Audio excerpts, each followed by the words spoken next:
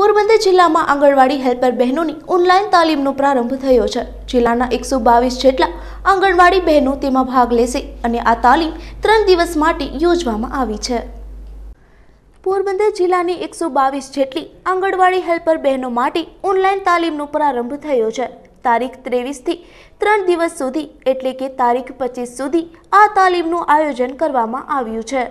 Corona મહામારી હોવાને કારણે દરેક ઘટક ખાતે હેલ્પર બહેનો સામાજિક અંતર જાળવી અને મોબાઈલમાં વીડિયો દ્વારા ઓનલાઈન તાલીમ લઈ રહ્યા છે. આ તાલીમમાં હેલ્પર બહેનોની ફરજ આઈસીડીએસ યોજનાના વિવિધ પાસાઓ સહિતની કામગીરી વિશે તેમને માહિતી આપવામાં આવશે. છેલ્લા દિવસે તેમની ટેસ્ટ પણ લેવામાં આવશે. જોશી આઈસીડીએસના પ્રોગ્રામ ઓફિસર જણાવું છું કે અત્યારે આંગણવાડીના જે હેલ્પર બહેનો છે, એને કોરોનાની મહામારીને કારણે જે ઇન્ડક્શન તાલીમ આપવાની હોય, એકત્ર થઈને એના બદલે સરકારશ્રી નક્કી કર્યા મુજબ ઓનલાઈન ટ્રેનિંગ આપવાની ચાલુ કરવામાં આવી છે. આજેથી ત્રેવીસ તારીખથી શરૂ થઈ છે અને એના માટે લિંક ગૂગલ મીટમાં લિંક મોકલવામાં આવી છે અને એમાં તેડાકર બહેનોને એમની જે કામગીરી છે, એની ફરજો છે, પૂર્વ પ્રાથમિક શિક્ષણ છે, બાળકોને વજનમાં મદદ કરવાનો, સારો પૌષ્ટિક આહાર કેવી રીતે બનાવો, એના વિવિધ વીડિયો બતાવવામાં આવશે. આખો વીડિયો જોઈ અને એના માટેના પછી એના, એની માટે પરીક્ષા લેવામાં આવશે. તો ત્રેવીસ, ચોવીસ અને પચીસ ત્રણ દિવસ અગિયાર વાગ્યા તાલીમ શરૂ થઈ ગઈ છે.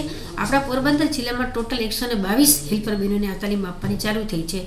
એ વીડિયો જોયા પછી એના માટે એના પ્રશ્ન પૂછવામાં આવશે અને પચીસમાંથી અઢાર માર્ક જો એને મળી જાય તો એ પાસ થઈ જશે.